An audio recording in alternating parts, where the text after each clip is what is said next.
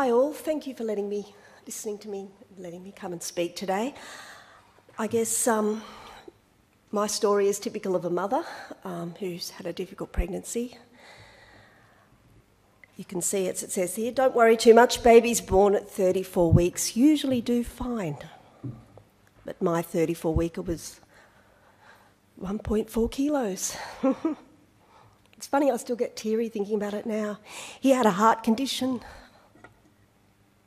and he was being fed by a tube. What does this mean? So I was an older first time mother, got pregnant very easily. I'm 41, I got pregnant that quickly. That's not what it says in the media. Baby was due when I was 42. I had horrendous all day morning sickness. Um, it didn't stop at nine weeks, didn't stop at 12 weeks. It went on till about 16 weeks.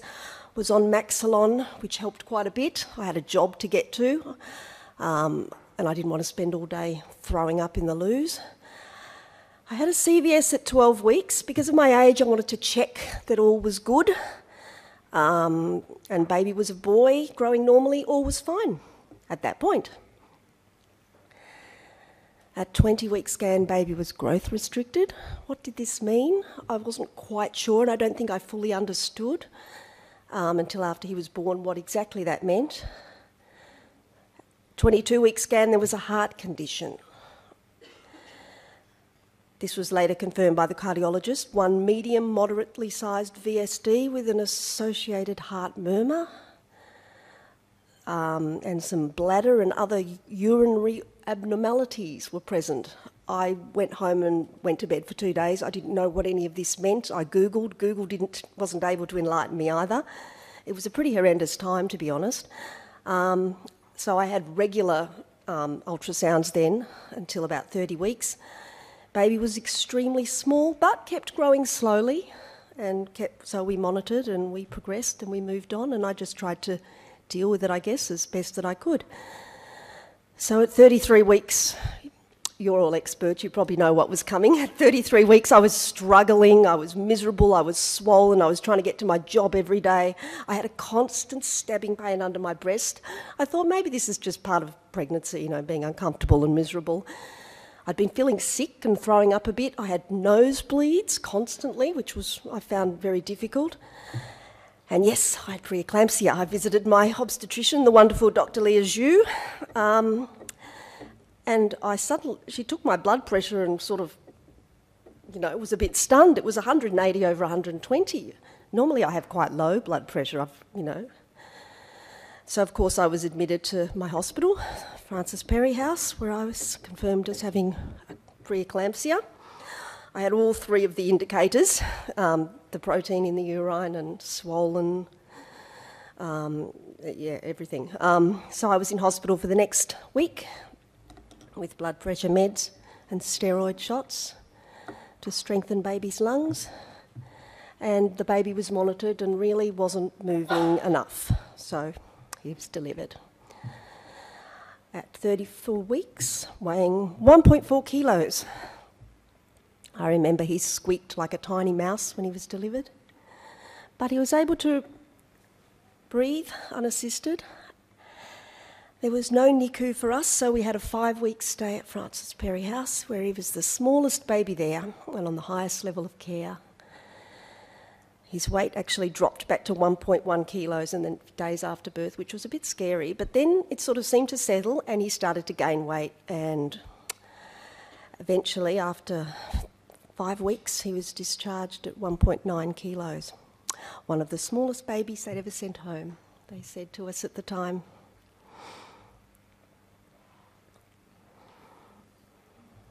So, some of my thoughts on the indicators from my experiences.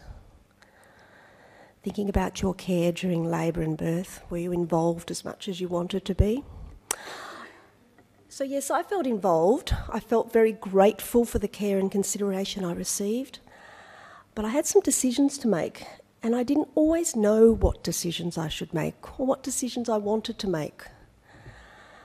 I think as mothers, we often struggle to know how to respond, to work out what option we should choose, what is the best option for our baby, what is best for us. I suspect this is the case for many of us.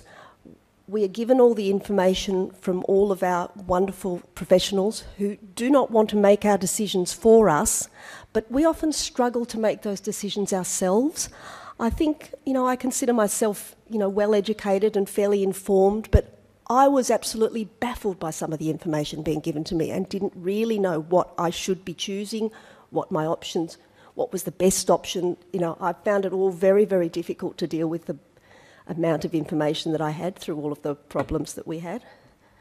And I think, um, whereas I know you all don't want to make our decisions for us, sometimes from my experience, I wished that I'd had more guidance, and I even wished that someone would have said to me, This is the best option for you. This is probably what you should do.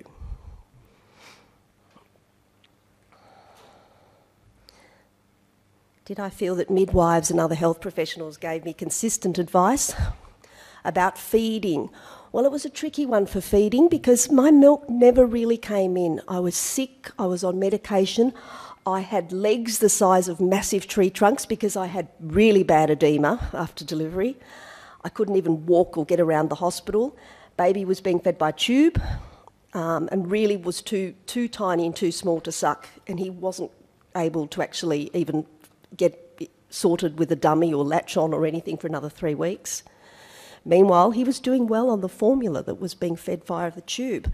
So it was very tricky to sort of deal with trying to produce milk and all that in that circumstances. And I must say, I got a little cross with some of the advice I received. Don't worry about it, you've got enough to do. No, you need to keep trying. Come on, let's have another go. You know, it sort of was, depending on what nurse was on duty, I must say advice varied quite a bit. And I kind of felt, you know what, I've got a lot of things to worry about here. I've got a baby with a heart condition, I've got surgery coming, I've got this, I've got that. Milk was almost the last thing on my mind, to be honest.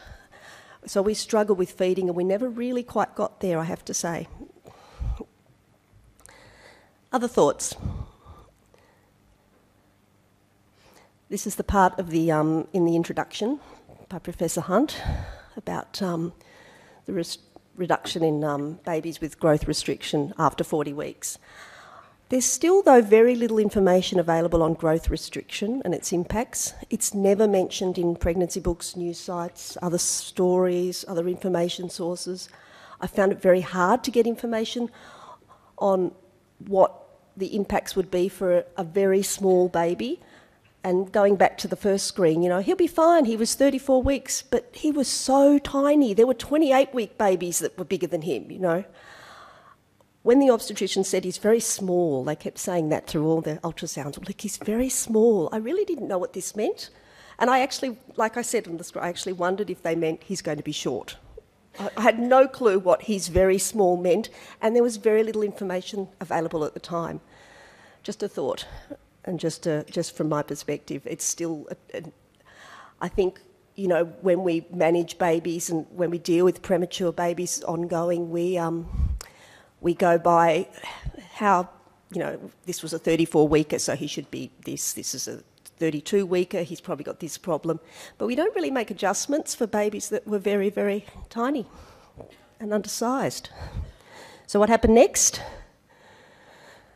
Oh, this is just, yes, there was a, this is just what happened afterwards. Scans found that Charles's VSD had improved to become two small VSDs, which meant hopefully they would heal without surgery, which they did over time, and he now has no heart issues. His urinary issues would require um, extensive surgery, so we had three major operations, with the last one when he was 18 months old. And in common with many PREMs and growth restricted babies, Charles was a little slow to meet some of his milestones, remained underweight for some years, but is now a healthy, still very lean and small, slightly small eight year old. He deal, he's dealing with ADHD and a couple of other issues, but he's highly intelligent and doing well. And as I've noted there, shout out to Dr. Lance Fung, his cardiologist, and Mr. Alan Woodward, his surgeon.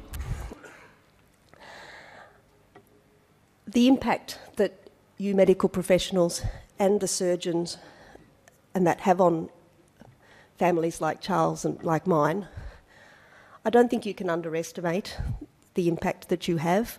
We um, have probably been long forgotten by Dr. Fung and Mr. Woodward, but we will remember forever. I have never forgotten some of the things that happened with our medical professionals and the impact that they've had on our lives has been huge. So please don't underestimate the impact that you will have.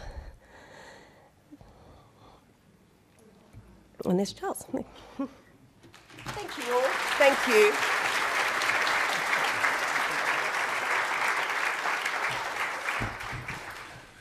Thanks, Liz. Um, that was brilliant. I'm not going to let Liz sit down just yet. We have got five or ten minutes. So, does anyone have any questions for Liz? There's time at the end of the session for um, some panel discussion about this set of talks. But if anyone has anything for Liz before she sits down, yes.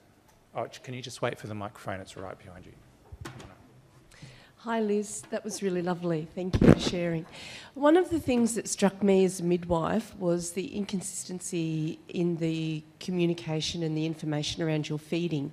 Hmm. One of the questions that I have for you, and one of the things that I picked up out of that, is that it, um, it seemed to be no, there was no connection to your actual experience or wishes.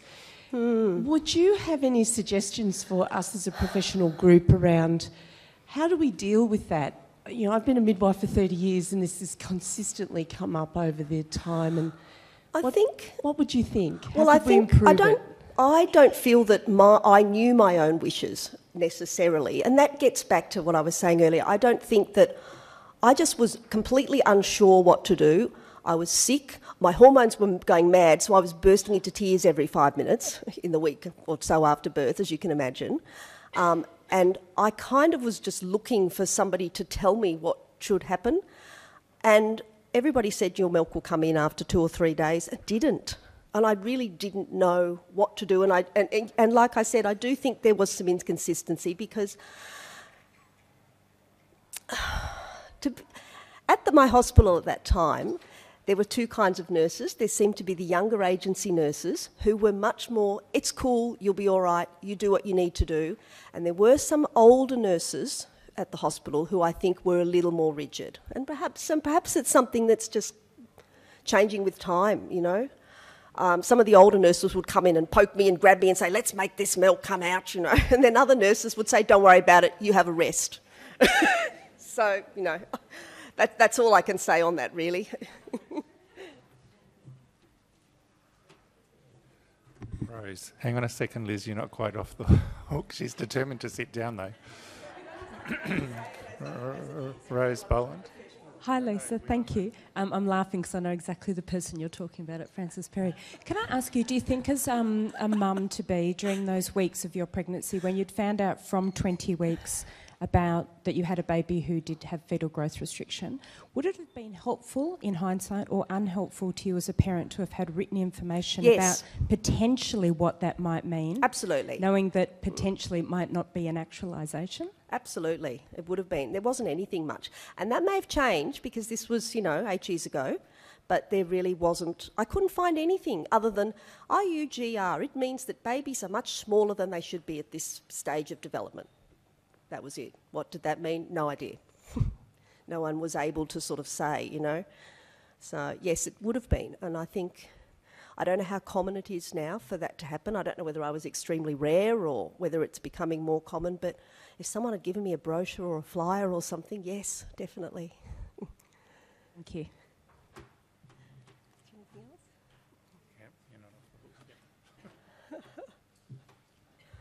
Hi. Did you have access to um, breastfeeding antenatal classes and did you have access to a lactation consultant? We sort of let that go by that point, to be honest, because by then, baby was doing well. On his, he had some some special formula in the first couple of weeks. Then he went to normal formula, and he was doing really well. He was rapidly putting on weight. We kind of, I think, by the time I got out of hospital, which was five days later, I really probably just had other things to worry about, to be honest. I think if I'd pushed for it, maybe I would have been offered that, but. What about in your pregnancy, though? Um, Some antenatal classes, particularly on breastfeeding? No, I was actually going to start antenatal classes, um, but I So it was too late It then? was a bit late. It was. It was like my my do you, know baby shower. I missed that. Baby was born by the time the baby shower was booked in. You know. Do you feel it could have been offered earlier considering the problems Yeah, you were having in probably. your pregnancy? Probably. Um, I think though what happened from 20 weeks, I kind of moved into moved off the normal pregnancy path and moved into some special care. My obstetrician got another obstetrician involved who was m- you know more experienced with dealing with problem pregnancies and I kind of was put on this track of the, pre- the problem pregnancy so I was off the normal path I guess so I don't really remember being offered any of that. Also, we pretty much decided by the time we saw the problems that I was. I decided that I was going to have a cesarean anyway. So, you know, I didn't need to go to birth classes. I guess. no, but you, um, you, you could have been offered breastfeeding classes a lot earlier. Yeah, maybe. Yeah. Yeah. I don't even remember that being offered at all, to be honest. Hmm. Anybody else? One last question? No? We've worn you out. Thanks very much, Liz. That was great. Thanks so much.